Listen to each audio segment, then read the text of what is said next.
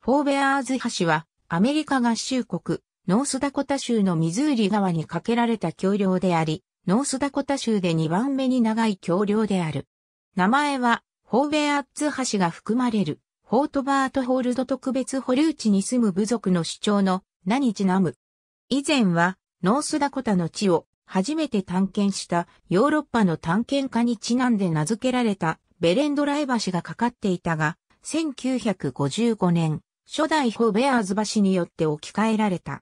この時の橋は、下流のガリソンダム建設で特別保留地が分断されてしまうことへの対策として架けられたものである。構造及び材質は、パーカートラスと平行弦トラスの複合鉄橋である。現在の橋梁は、初代のものを2005年に置き換えたものである。国家歴史保存法の対象事業であり、ノースダコタ州、連邦政府と原住民部族との間で話し合いが行われた。2005年9月2日午前10時頃に開通し、同年10月3日に開通式が行われた。現在の橋には特別保留地に住む3種の部族に伝わる遺産を表現したプレートが飾られている。